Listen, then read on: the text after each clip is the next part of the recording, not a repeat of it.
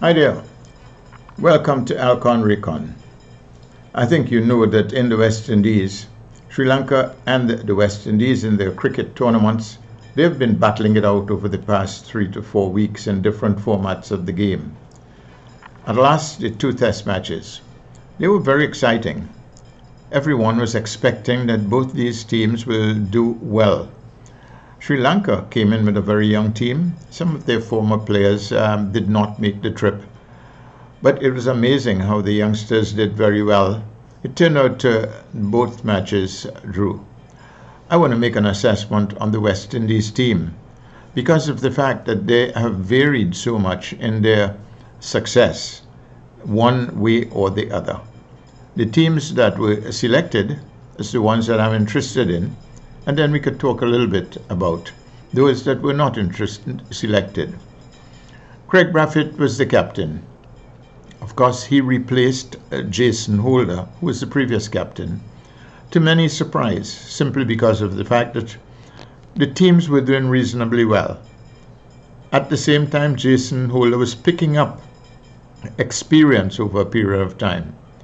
And he's ranked number one all rounder in the world. This gives us the feeling that there is everything all rounder-ish in his behavior on and off the cricket field. However, the, selected, the selectors thought otherwise. Greg Brathwaite came in, and uh, he does not have a history of uh, leading teams, international teams, but he's been around for a long time, opening the batting for the West Indies on a number of occasions in some cases, he was successful. Other cases, he had many faults that put him into trouble. However, in the first test match, he did not do well. And uh, this opened a door for a lot of the chat that had been happening before. But they were persistent and they allowed him to do it. And by heavens, he played very well. He scored 120 odd, he got 80 odd. And as far as his leading of the team was concerned, it's difficult to judge, if only because of the fact that the wicket was flat and easy and the, the going was tough at all times. He used the bowlers that he had, and this was of great importance. Kevin Roach, uh, Kemar Roach, certainly did a wonderful job for him. So did Alzarri Joseph. And you got some a long time uh, off spin bowling from Cornwall, who was, uh, was there to bowl 30, 40 overs even despite the fact that he uh, appears a little bit overweight, but he's done reasonably well with the bat and maybe not as well with the ball. So we were looking at a team that had some players who you'd have to look at a second time uh, for one reason or another. You can think in terms of the, the fast bowlers, and Alzarri Joseph is the one that catches the eye outside of Kemar Roach. Kemar Roach is a top class fast bowler, medium fast, gets the ball to move from through the air and off the pitch as well. His line and length has been wonderful. He's taken a number of good wickets, and I'm sure that everybody was pretty well certain that he will do well. The one that you expect him, him to improve um, is Shannon Gabriel. Not very good. Very quick. He's a very big man he comes trotting down the track.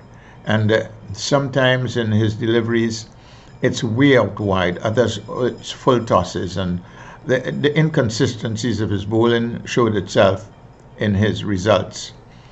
He bowls pretty fast. He's the fastest bowler in the team. But what is the point of having the, the speed and not the length and the line and the direction and that sort of? He had the wicket keeper, Da Silva, throwing himself here, there, and everywhere and it was unfortunate. Now is the time somebody's got to take a hold of him and sort of break his concentration down to good line and length in preference to all the maximum speed that he's got.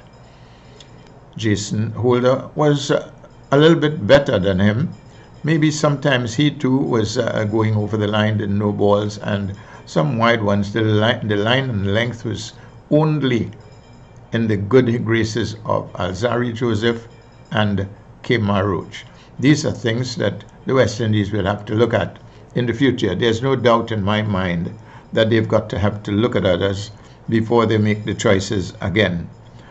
We had some um, Kumar and Bonner, Nkrumah Bonner, a young player who everyone thought had the potential. Boy, did he show that he had the potential. His concentration was very good. He went to the wicket and he played himself in. He didn't play as many shots as his partner in the number four position, who was Kyle Mayers. A left-hander who's a wonderful stroke player. He plays more or less in front of him, which is the safe thing on a wicket that's playing very orthodox. So he played a lot of shots through mid-off and mid-on, and when it's outside the off stump and short, he will hit it square with the wicket. He got a lot of runs. He did extremely well. He's now set not only as a batsman at number four, but they put him to bowl in the medium pace uh, area. He did well in that as well. He's getting the ball to move off the seam, and he got a few wickets. This means that this guy has been held. He could be held now uh, as a certainty for the West Indies team, probably in that uh, tournament coming up against England.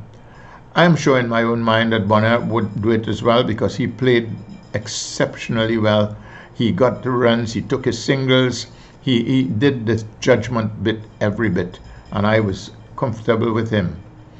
John Campbell, I thought there was too much, too many vulnerables in his batting. He's a left-hander, and he plays on the first line of the ball. So how many times will that ball come straight? They're just moving off the seam and eventually he's losing his wicket. Maybe sometimes he would get about 20 or 30, but not too many times. And I think they'll have to be either correcting him or getting a replacement for him. Of course, there, there's Evin Lewis out there, there's um, Simmons out there, um, there's Pooran out there, and there's Hetmyer out there. So they've got to be looking. And you go down the road, and we talked about Rahkeem Cornwall. We just said that he was uh, he was an off spinner. He's he's a good fielder in catch as well, in slip as well. But when he has to chase the ball, he's got a bit of a problem, overweight and everything else. But his out cricket was quite good. Our wicketkeeper Joshua Da Silva was very good. He was not only very good in terms of uh, stopping the ball, he took some good catches. And as a batsman, he played intelligently. He failed on one occasion, and he had the tendency not to go further than 40 or 45, get out somewhere. I suspect it's a fitness program because he's a big guy.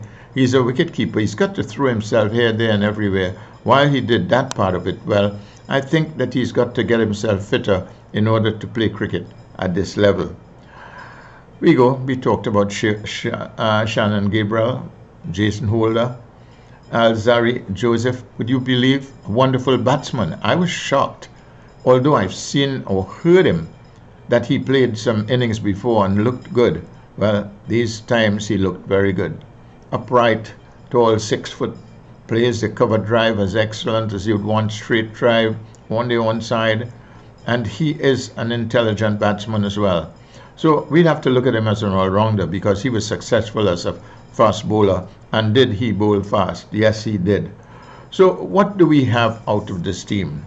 One of the things that we did not have was a wrist spinner. You must have a wrist spinner, particularly in the Caribbean, where the ball tends at time to fall into the rough spots and, and it would go from um, 30 degrees to 45 degrees turning and it could create the best batsman in the world if he doesn't watch it all the time. We've seen that proof from from Cornwall. It was his off spinners were jumping and turning, and other times it was just flying through, and that sort of stuff. I thought that Walsh Jr. might have been a good prospect, and I hope that he is because he's a wonderful fielder. He was brought on the field for an injured player, and boy, did he look as though he was ready to stop anything, and this he did. Took some good catches as well. So the West Indies team, in truth and fact, was still inconsistent. Too many players into scoring 30, 40, 20, 30, 40, and then one might come up with 100 or 80 odd. But this is not good for Test cricket. You've got to score runs. You've got to make 385, 400 in that sort of category. So if you look at it at this point of view, they were potentially good, but they need to be much better, especially because the West Indies and